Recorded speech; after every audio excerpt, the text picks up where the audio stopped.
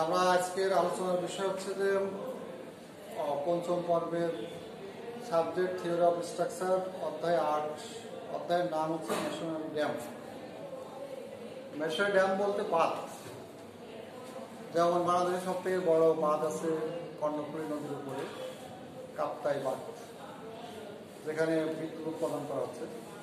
কর্ণফুলী নদীটাকে তোমার মাটি দ্বারা বাঁধা হয়েছে। আমরা গেছিলাম দুইবার, তিনবার গেছি আর কি আমি ওখানে। তো মূল নদীটাকে তোমার আড়াআড়ি মাটি দ্বারা রাস্তা যেমন বাঁধে না এরকম বেঁধে পানি আটকায়ে তোমার বিদ্যুৎ উৎপাদন করা হচ্ছে। পানি একটা নির্দিষ্ট টাইমের ভিতর দিয়ে ছাড়া হচ্ছে আর ওখানে টারবাইন আছে। ওই পানির স্রোতের স্পিডে টারবাইন ধরে আর বিদ্যুৎ উৎপাদন হয়। আর এক পাশে গেট আছে যদি অতিরিক্ত পানি হয়ে যায়, যেটা বাদের জন্য হুমকি প্রচুর বৃষ্টি হয়। একটা নির্দিষ্ট লেভেল আছে, তার থেকে বেশি পানি হলে তো আর টিকে থাকা যাবে না। তখন ওই পানিটা এক্সেস পানিটাকে ছেড়ে দেওয়া হয়। এক্সট্রা গেট আছে। ঠিক আছে, তোমার কাপ্তায়ের যে বিশাল পাহাড়িয়া ছোট ছোট টিলা আছে, মাঝে মাঝে ফাঁক আছে, এগুলোর বিশাল এলাকায় পানি আটকে রাখা হয়। কাপ্তাই লেক যেটা বলে। অনেক এরিয়া, পার্বত্য চট্টগ্রাম এলাকা পার্বত্য এলাকায় তো চট্টগ্রামের একদম শেষের দিকে। এই পানিগুলো সারা বছর আস্তে আস্তে ছাড়া হয়। একবারে না ছেড়ে আস্তে আস্তে ছাড়া হয়। আর বিদ্যুৎ উৎপাদন করা হয়। এটা নেটে সার্চ দিলেও দেখতে পাবো, কাপ্তাই, বাঁধ। এরকমই বাঁধ আমরা একটা রাস্তার আড়াড়ি দিতে পারি বা পুকুরের ক্ষেত্রে এক পাশে পুকুর আছে, তার সাইড দিয়ে রাস্তা যাবে, তখন বাধা লাগতে পারে। বিভিন্ন কারণে তোমার বাঁধ দিয়ে থাকে। একটা খালের আড়াআড়ি বাঁধ দিয়ে পানি আটকানো রাখতে পারে সেচ কালের জন্য। যে গ্রীষ্মকালে বা শুষ্ক মৌসুমে পানি শুকায় যাবে, আমি আড়াআড়ি বাঁধ দিয়ে পানি আটকায় রাখলাম, কাজে লাগানোর জন্য। তো সেই ধরনের বাঁধ কীভাবে দেয়া যায় বাঁধটা টিকে থাকবে কিনা, সেই বিষয়গুলো এখানে আলোচনা করা হয় তো আমরা এখানে থিওরি কথাবার্তা আমি কিছু বললাম, আর এখানে আরও আছে। যেমন ফারাক্কা বাদ দিছে, তাই না? ফারাক্কা বাদ দিয়ে পানি ভারত আটকায় রাখে, তারা শুষ্ক সময় তাদের সেচ কাজে ব্যবহার করে। বর্ষাকালে অতিরিক্ত পানি ছেড়ে দেয় আমরা ডুবে যাই, তাই না? তো এই বাঁধগুলো তোমার ওই কংক্রিটের দেওয়াল দিয়ে হতে পারে, মাটি দিয়ে হতে পারে, পাথর দিয়ে হতে পারে, ঠিক আছে? যেখানে যেরকম প্রয়োজন হয়। তিস্তা ব্যারেজ আছে না? তিস্তা নদীর উপরে আটকায় পানি কাজে লাগাচ্ছে। তো এই হচ্ছে অবস্থা। তো ড্যামের আকার আকৃতির উপরে নির্ভর করে প্রকারভেদ হচ্ছে। আয়তকার ড্যাম, ট্রাপিজয়েডাল ড্যাম, তারপরে দুই ভাগে হতে পারে। ড্যামের স্থায়িত্ব শর্ত, ড্যাম যে টিকে থাকবে ড্যামের বেস। তাহলে ড্যামটা এরকম যেমন একটা নদী, মনে করেন একটা নদী, এই নদীর আড়াআড়ি বাদ দেবো, তাই না? এটাই তো তোমার ড্যাম। এটাকে যদি আমরা বাঁধটাকে এরকম দেখাই, তো আমি এরকম সরাসরি আমি সোজা ভাবে দিতে পারি। এখানে মাটি আছে, মাটির লেভেলে আমি এরকম পানি দিলাম। পানি লেভেলে মনে করো পানি উঠবে সর্বোচ্চ হাইট হবে। আবার আমরা আয়তকার আপনি যে এইদিকে পানি আছে এইদিকে আমরা একটু বেশি চওড়া করলাম, তাতে পানির চাপ, এটা উল্টায় যেতে না দেওয়া মতো পানি আছে পানি থাকবে সবসময় কিছু উঁচু করা হয় লেভেল সর্বোচ্চ কতটুকু পানি উঠতে পারে? তাহলে এই যে পানি যে প্রেশার দেবে বাঁধের উপরে, এই প্রেশারে বাঁধটা টিকে থাকবে কিনা? সেটা আমাকে চেক করতে হবে। কি পরিমাণ চওড়া বাঁধ বানাবো আমি? কত হাইটের পানি উঠবে হাইটটাকে ঠেকানোর জন্য কতটুকু বাঁধের চওড়া হবে, তাই না? করতে হবে, এসব বিষয়গুলো আমাকে কনসিডার করতে হবে। ড্যামের বেস টান তৈরি হয়। বেস বলতে এই যে এটাতে মাটির উপরে বসে আছে না স্ট্রাকচারটা যখন এখানে ধাক্কা দেবে, তখন এই জায়গায় নিচের দিকে ড্যামে যাবে না? এখানে যখন ধাক্কা দেবে, তখন এই মাথাটা উঁচু হবে? আর এই মাথাটা কি? উঁচু হবে না? এখন এখানে তো এমন প্রেশার পড়ল মাটির যা ক্যাপাসিটি তার থেকে বেশি প্রেশার পড়লে এই জায়গায় মাটির ভিতরে দেবে। যাবে তখন তো বাঁধটা উল্টাই যাবে। ঠিক আছে? তাহলে এমন যেন প্রেশার না তৈরি হয়, যেটা মাটির যা ক্যাপাসিটি তার থেকে বেশি যাতে না হয়। মাটির যা ক্ষমতা, তার ভিতরে থাকে। সেটা হচ্ছে টানবেন ড্যাম উল্টে পড়া প্রবণতা মুক্ত হবে। মাটির পানির প্রেশারে একদম বাঁধ পড়া ভাঙিছিলি অনেক সময় যে দেয়াল টেয়াল পড়ে যায় না যে মাটি আটকানো, দেয়াল দিয়ে রাখছে, বর্ষাকালে পানি হয়ে গেছে পানির চাপে, মাটির চাপে দেয়াল পুরা উল্টায় পড়ে গেছে। এটা করে উল্টায় না। এরপর বলছে যে, তোমার ড্যাম পিছলে উল্টা, উল্টাচ্ছে না কিন্তু প্রেশারে জায়গা থেকে সরে গেছে। বুঝতে পারছ?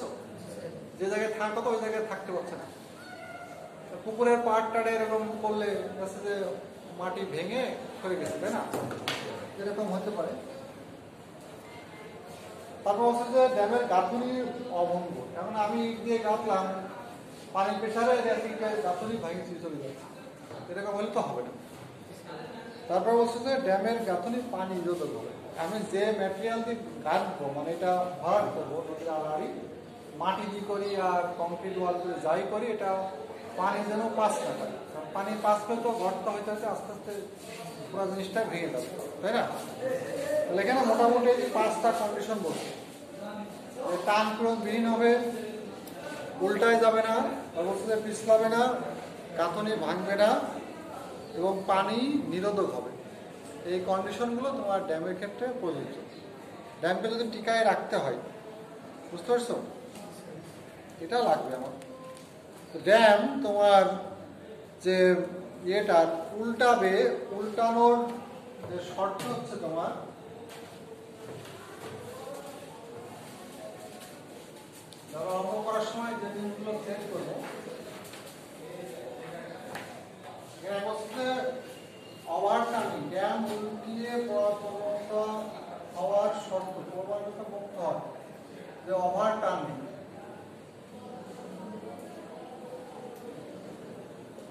ওভারটার্নিং যদি না ঘটে, সেক্ষেত্রে তোমার বলছে নিরাপদ factor of safety factor safety হচ্ছে তোমার প্রতিরোধী মোমেন্ট এম আর আর হচ্ছে ওভারটার্নিং মোমেন্ট এই দুইটার ভাগফল দুইয়ের থেকে বড় হতে হবে দুইয়ের সমান অথবা এর বড়। প্রতিরোধী মোমেন্ট কোনটা? ব্যাম- ড্যামের যে নিজস্ব ওজন, নিজস্ব তো ওয়েট আছে না? নিজস্ব ওজনটা নিচের দিকে কাজ করবে। আর এই পানির প্রেশারটা কাজ করবে কি? হরিজেন্টাল পানির প্রেশার চাবে এটাকে উল্টাতে আর এই নিজস্ব ওজন চাবে টিকায় রাখতে, তাই না? তাহলে এই যে যদি আমি এই জায়গায় মোমেন্ট নিই, এখান থেকে এটা দ্রুত পাবো, আর এই পি এখান থেকে দ্রুত পাবো না? তাহলে এই যে এম আর যেটা, এম আর হচ্ছে তোমার ডাব্লিউ ইন্টু এক্স আর এম আছে P into H by three বুঝতে পারছ? নিজস্ব ওজনের মোমেন্ট হচ্ছে প্রতিরোধী মোমেন্ট আর পানির মোমেন্ট যেটা, সেটা হচ্ছে উল্টানো মোমেন্ট প্রতিরোধ ক্যাপাসিটি যদি তোমার উল্টানোর থেকে বেশি হয়, এই ভাগফল দুইয়ের বেশি মানে কি? প্রতিরোধী মোমেন্ট বেশি হবে। বেশি হলে তখন তোমার ড্যামটা উল্টাবে না এরপরে বলছে দেখো ড্যাম স্লাইডিং স্লাইডিং যদি না হইতে হয়, তাহলে কোন চেকটা করতে হবে? স্লাইডিং কিন্তু ফ্যাক্টর অফ হচ্ছে তোমার প্রতিরোধী বল, তার মানে এফ রেজিস্টিং ফোর্স আর হচ্ছে তোমার পিস্তানো বল পি এফ সমান তোমার ডাব্লিউ ইন্টু মিউ আর হচ্ছে পি পি মানে পানির ফোর্স পানির ফোর্সটা এটাকে পিছলাতে যাবে, আর এই যে নিজস্ব ওয়েট আর এখানে যখন এই পিছলাবে, এখানে ফ্রিকশন তৈরি হবে না, ঘর্ষণ? ঘর্ষণের মান হচ্ছে মিউ এর আগে আমরা পড়ছি না ফ্রিকশনাল ফ্রিকশনাল ফোর্স প্রতিরোধী বল আর পানির ওয়েটটা, এটার ভাগফল যদি তোমার দেড়ের থেকে বেশি বা সমান হয়। তাহলে এটা পিছলাবে না। আর আরেকটা হচ্ছে যে অসম বর্ষণ। মাটির যা ক্যাপাসিটি তার থেকে যদি তোমার বেশি না হয় পিওন এফ এফ তখন আমরা বের করব এফ এফ মান এফ এর মান হচ্ছে তোমার এখানে আসবে। এফ সমান, এফ হচ্ছে W by B one plus minus six E by B এ বাসে পিলন কতটুকু পিলন তৈরি হচ্ছে? একটা হচ্ছে এটা বলে এটা এর হিল। আর হচ্ছে তোমার টো মানে পায়ের গোড়ালি। গোড়ালিটাকে বলা হয় কি? হিল। এটা পায়ের মতন একটা, এদিকে লম্বা, এদিকে তোমার গোড়ার দিকে, নব্বই ডিগ্রি না? আমাদের পায়ের পায়ের পিছনের দিকে নাইনটি ডিগ্রি। আর সামনের দিকে কি? সরু। তাহলে এই গোড়ালিটাকে বলা আছে তোমার হিল, আর এটা হচ্ছে টো। এখন এই হিল এবং টো এর প্রেশার বের করতে হবে এই সূত্র দিয়ে ক্লাস মাইনাস এই ক্লাস দিলে বেশি হবে মাইনাস দিলে কম হবে। তার মানে টোতে হবে প্রেশার বেশি ক্লাস আর হিল হবে প্রেশার কম মাইনাস করলে পরে যে প্রেশারটা আসবে, সেটা মাটির যা ক্যাপাসিটি দেওয়া থাকবে, তার থেকে এই মানটা কম হতে হবে। বুঝতে পারছ? তাহলে এফ এর মানটা তোমার লেস দেন হবে বিয়ারিং ক্যাপাসিটি অফ সয়েল মাটির ক্ষমতার থেকে কম আছে তাহলে এই যে তিনটা শর্ত ওভারটার্নিং হবে না যদি প্রতিরোধী মোমেন্ট তোমার আর ওভারটার্নিং মোমেন্টের ভাগফল দুইয়ের থেকে বেশি হয়। বা দুইয়ের সমান হয়। যদি কমে যায় তাহলে এটা উল্টায় যাবে। এটাও যদি তোমার প্রতিরোধী ফোর্স এবং উল্টানো ফোর্সের ভাগফল যদি দেড় বা দেড়ের সমান হয় তাহলে টিকে থাকবে না হলে এটা এটা হচ্ছে স্লাইডিং করবে পিছলাই যাবে আর এটার ক্ষেত্রে মাটির ক্যাপাসিটি থেকে বেশি পীড়ন তৈরি হলে এটা বসে যাবে। বুঝতে পারছ? এইগুলোই আমরা এখন অঙ্ক করব। অঙ্ক দেখো এইট পয়েন্ট বারো। এইট পয়েন্ট বারোতে আমরা প্রবলেমটা এখন শুরু করব।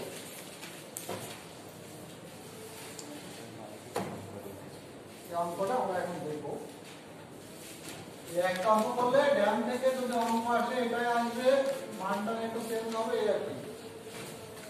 অর্থাৎ একটা করলে একটাই কমন বুঝতে পারছ? মানে এরপরে যদি কেউ না করে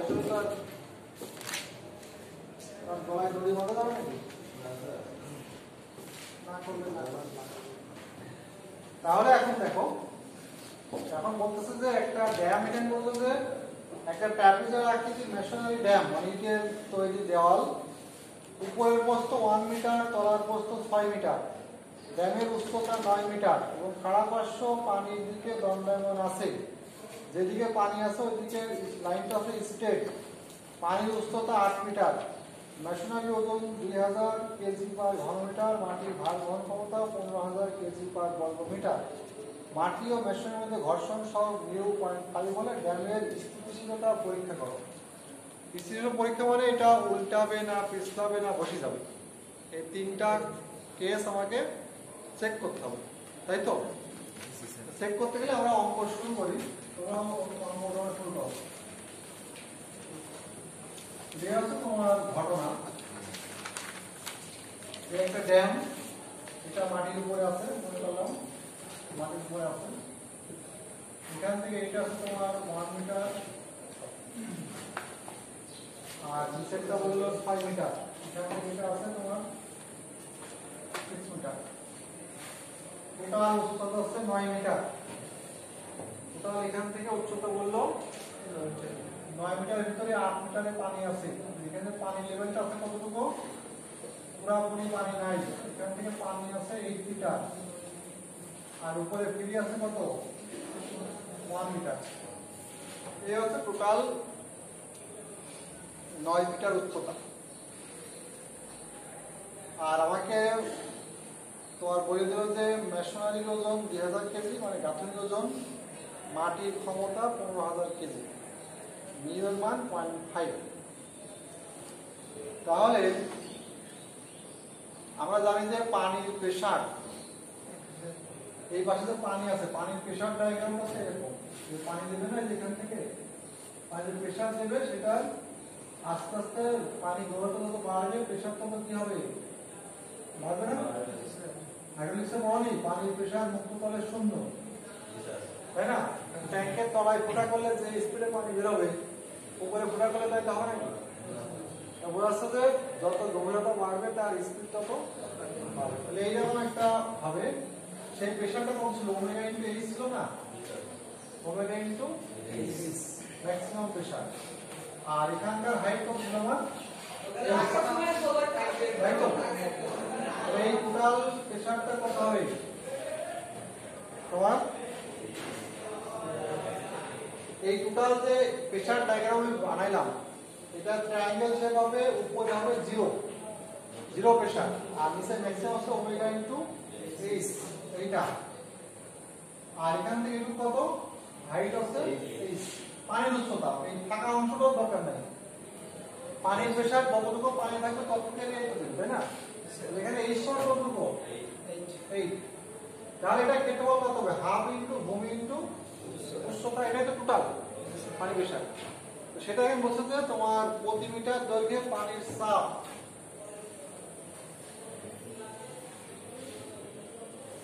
বইতে সরাসরি সূত্র দিছে, কিন্তু ওই জিনিসটা তোমাকে ক্লিয়ার করি ঠিক আছে? পি সমান হবে হাফ ইন্টু ভূমি ইন্টু উচ্চতা। তাই তো?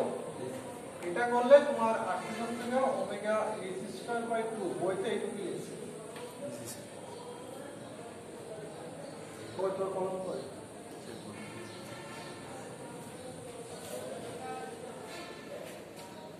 আমরা মান বসাই পানির ওজন আমরা জানি না, এক হাজার, পানি এখন কত এক হাজার, তাই না? পার ঘন সব মিটার এখানে। তো পানির ওজন এক হাজার ডাব্লু দেওয়া থাক আর না থাক ধরে দিতে হবে, তাই তো? এইচ এর মান আছে এইট বাই টু এখান থেকে সেটা হচ্ছে তোমার বত্রিশ হাজার কেজি পানি যে প্রেশারটা দেবে, সেটা কতটুকু প্রেশার দেবে? এই যে এই যে একটা আমার এই ড্যামের উপর যে চাপটা দেবে, এই চাপটা কতটুকু দেবে পানি? মান বত্রিশ হাজার কেজি গেছে? তাহলে এটা যেহেতু এই প্রেশারটা কেন্দ্র দিয়ে কাজ করবে না? এই প্রেশারটা কোথায় কাজ করবে? এই বডির কেন্দ্র দিয়ে। কেন্দ্রটা ট্রায়াঙ্গেল শেপ মানে প্রেশার ডায়াগ্রাম কেমন হবে? এটা ট্রায়াঙ্গেল ত্রিভুজ আকৃতি। ত্রিভুজের এই কেন্দ্রটা ঘর কেন্দ্র করা যায় ভূমি থেকে এখান থেকে এইচ বাই থ্রি না? বুঝতে পারছ? ভর কেন্দ্র যেটা হবে, ভর কেন্দ্র কোথায় হবে? এখান থেকে হবে তোমার সিজির মানটা হবে এইচ বাই থ্রি আর উপর থেকে আসলে কত হবে? টু এইচ শিখছি না আমরা এটা? তাহলে পি বলটা ভূমি থেকে এইচ বাই থ্রি উচ্চতায় কাজ করবে। এইচ বাই থ্রি মানে এইট ভাগ থ্রি বুঝতে পারছ? দেখে লিখতে হবে পি বলটি তোমার ভূমি হতে এইট বাই থ্রি মানে এইট বাই থ্রি উচ্চতায় কাজ করবে। এটা কিন্তু এই ট্যাপে যাবে ভরকেন্দ্রের সাথে সম্পর্ক না। এটা কি পানির প্রেশার ডায়াগ্রাম যেটা, তার সাথে সম্পর্ক। তো এখান থেকে এটা উচ্চতা আছে তোমার এই ভাগ এইচ মানে যখন আট এই ওটাও এটাই হচ্ছে আট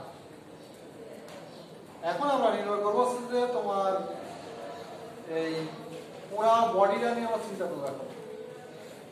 প্রতিরোধী মোমেন্ট কতটুকু এবং এর ওয়েট কতটুকু?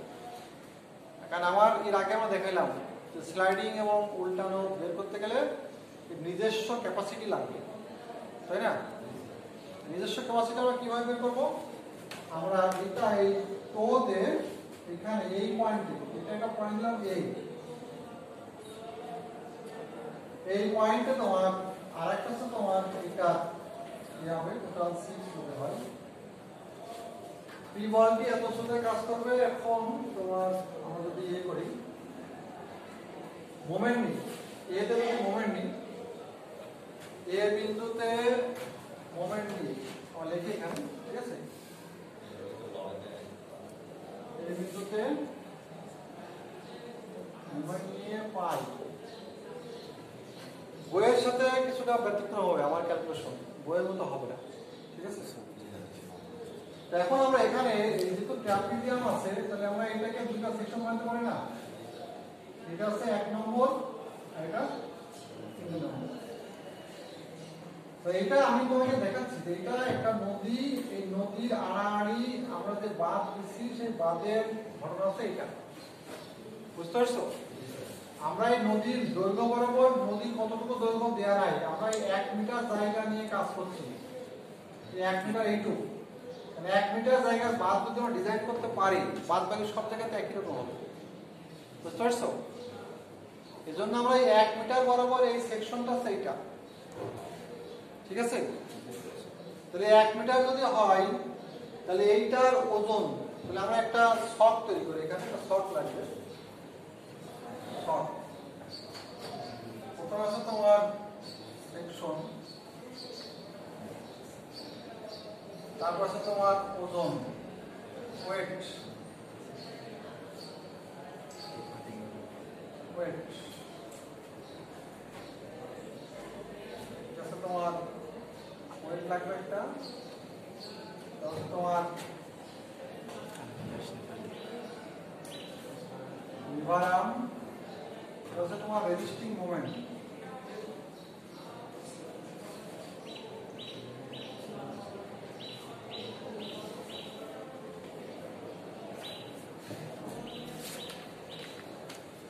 এখানে ওয়েটটা হচ্ছে আমার ডাব্লু এটা কেজিতে আসবে, এটা হচ্ছে মিটারে আসবে, এটা হচ্ছে কেজি মিটার হবে, এটা হচ্ছে এম আর আমরা সেকশন ওয়ান এক নম্বর সেকশনটা যেটা আয়তক্ষেত্র না?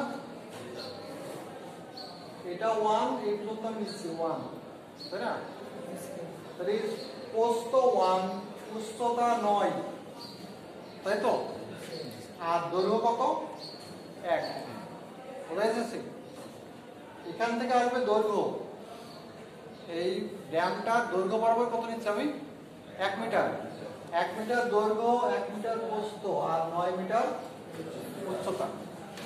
তাহলে আমাদের আয়তন পাচ্ছি না দৈর্ঘ্য এক মিটার প্রস্থ তোমার এক মিটার আর উচ্চতা আছে নয় মিটার এটা কি ইটের তৈরি, তাই না? ইটের ওজন অঙ্কে দেওয়া আছে না? দেওয়া আছে? মেশিনারি ওজন দেওয়া আছে কত? দুই হাজার না?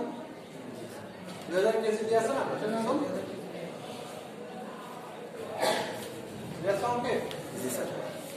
বারো নম্বর উদাহরণ। তাহলে আমার দৈর্ঘ্য প্রস্থ উচ্চতা আয়তন এত ঘনমিটার। আর এক ঘনমিটারের ওজন কত? দুই হাজার কেজি। বুঝতে পারছি?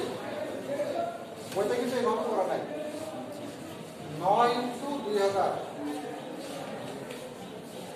আঠারো হাজার।